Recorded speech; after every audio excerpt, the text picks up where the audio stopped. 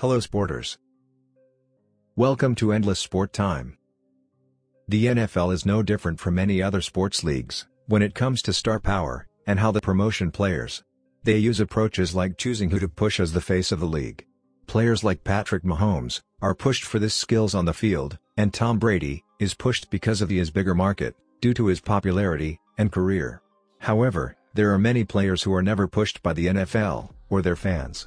For various reasons, these players didn't get the respect they deserved on the football field.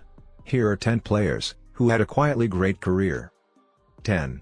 Marc Bulger. Marc Bulger was one of the great forgotten figures of the early 2000s, remembered all the way, when Kurt Warner left Ram, but no one remember who replaced him. It was a young Bulger, from West Virginia, who took over the Hall of Fame his league's second year. Despite being a six-round pick, Bulger immediately proved his worth as a player. He played multiple Pro Bowl seasons in his nine years with St. Louis. However, his career quickly declined after leaving the Rams. He retired in 2011, after one year as a backup in Baltimore. 9. Jon Condo. Long snappers never gets love, which makes sense. They have a unique task, which is kicking the ball to punter or kicker on special teams. They enter the field few times in each game. However, some long snappers like Jon Condo made the most of his time on the field. Condo has been the league's most consistent long snapper, for nearly 15 years. He made the Pro Bowl twice in his long career. 8. Kyle Vanden. Kyle Vanden is an interesting case of a player. He was a big league player, and was a physical, and strong defensive end, who played for over 10 years.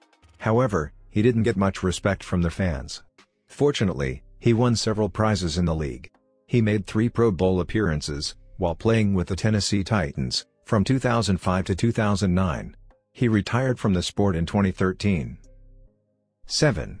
Brian Orakpo. Brian Orakpo was a monster when he was on the D-line during his time in the league. The Texas graduate was drafted by the Washington Redskins in 2009, where he dominated. During his six seasons with DC, he was selected to three Pro Bowls. Orakpo left Washington in 2014, to sign with the Titans. There, he was selected to another Pro Bowl team. He retired in 2018, after playing 10 seasons in the league. 6. Trent Green. Trent Green is another great player who was forgotten in the 1990s and early 2000s.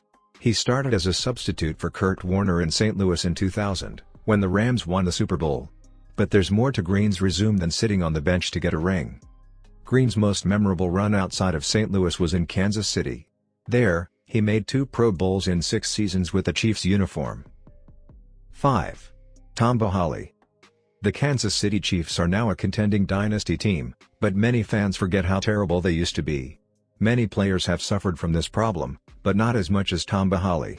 Hali played 12 seasons for the Chiefs. During that time, he was named to six Pro Bowl, and two All-Pro teams for his destructive work as linebacker. Hello guys. If it's your first time here, and so far you find this content interesting, don't hesitate to press the subscribe button, and turn on the notification bell. So that you'll be alert each time, we post a new video like this. So far so good, let's continue. 4. Paul Posluszny. Paul Posluszny was drafted by the Buffalo Bills in 2007 with high expectations. But he didn't really reach his prime for another three years, until he left New York for the Jacksonville Jaguars in Florida. Posluszny spent seven seasons with the Jags, he was one of the best linebackers in the league. During this time, Jacksonville was so poor that he didn't win many awards, and were drawn to only one Pro Bowl. 3. Derrick Johnson. Derrick Johnson has been Tamba Hali's partner for the Kansas City Chiefs defense, for over a decade. From 2005 to 2017, he was one of the best defenders in the league, and was tough to play against. Although the Chiefs didn't win many games, Johnson made it difficult for opposing offensive players. Johnson was selected to four Pro Bowls, and two All-Pro teams while at KC. He retired in 2019, after playing one season in Oakland. 2.